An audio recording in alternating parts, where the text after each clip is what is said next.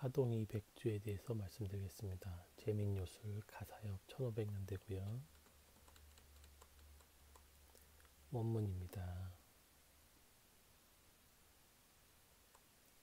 번역문입니다. 글자가 많기 때문에 일시 정지하셔가지고 보시면 되는데요.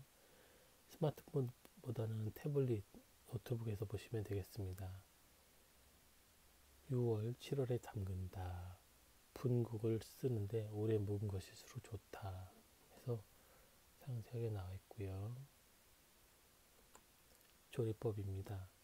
1번부터 13번까지 13단계까지 되어 있고요. 팁으로는 6, 7월에 담근다.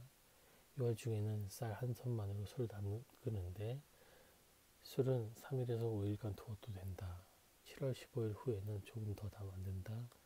창문이 북쪽을 향하는 큰 집에서 만드는 것이 가장 좋으며 서늘한 곳에서 만들어도 좋된다.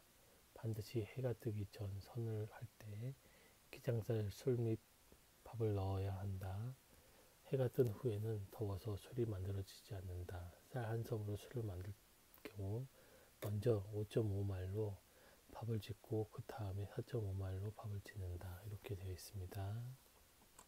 항아리와 독이가 필요합니다.